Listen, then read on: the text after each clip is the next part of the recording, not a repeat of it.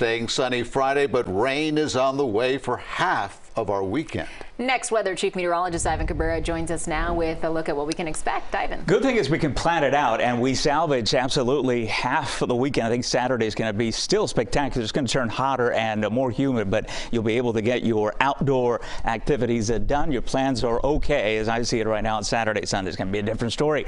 Uh, next radar network, I want to widen out so you can see where our weather is going to come from. This is the front that arrives Saturday night and into Sunday. It's spawning severe weather right now. By the time it gets to us, it's just going to be a rain event. Not expecting a severe weather, but it will be a prolonged rain event that continues Sunday and into Monday. Tomorrow looks fantastic. Still temperatures in the upper 70s to lower 80s. So we're going to have mostly sunny conditions here. And then the front does arrive as we head into the upcoming weekend. That'll be Saturday night and into Sunday. This is about as much rain as I've seen as far as the computer model forecast next uh, you know week or so. We're looking at the potential for one to three inches that'll fall within a two to two and a half time uh, spread there, so it's not going to be an issue as far as flooding, and I will do that for you. Time it out, plan your weekend as it gets very close. It is Friday now. We'll see you in a few minutes.